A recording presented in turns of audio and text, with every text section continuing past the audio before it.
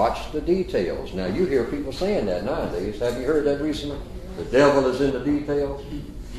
The truth is in the details too. All right. So if you just learn the details on things, I mean, if you go on a job, and that's another thing. Don't be so smart. Be just the opposite. Because the first step toward getting smart is to do what? Listen. Huh? Before then, You want to learn.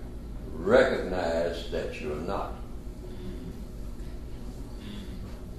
See, like a, a teacher will stand in front of a bunch of students and say, You're a really dumb student. Now, what should you do with that? Yes, yes, I am. You should say, Yes, I am. It ain't nothing better than that. Yes, that's why I'm here. See the logic? See, we need to be logical. That's exactly why I came here. I recognized when I was walking out there, you know, can't figure this out, can't do this, can't get no job here. I recognized I didn't know enough. I better go somewhere and have somebody tell me something where I'll know something about what to do. So I came to this place. So I came here dumb.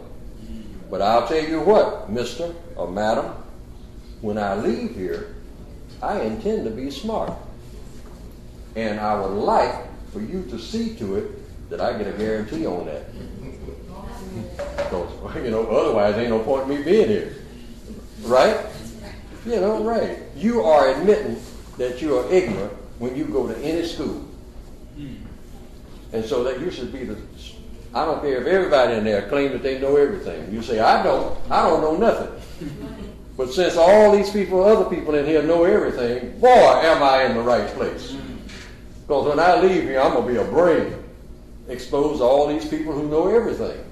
Okay? Doesn't get no better than that. I wouldn't ask for a better situation than that. I mean, you know, what, what, how do we think? We think illogically. We find that we know just a little bit, so what do we do? We seek out people who know less than us in order to feel big around them. And that is feeding ignorance on a big scale mm-hmm. because you're not improving at all. Mm-hmm. You know, once you learn something, you pass that on to somebody, but then you go and get some more. Mm-hmm. And never be ashamed. Never be ashamed about what you don't know.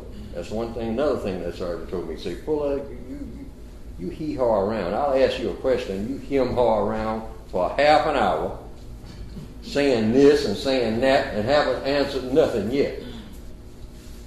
Said, you get embarrassed about what you don't know. He said, never be embarrassed about what you don't know. Be embarrassed about not trying like hell to find out. That's the only time you should be embarrassed. You know that you don't know. You know that you need to know, but you're not trying to find out. All right?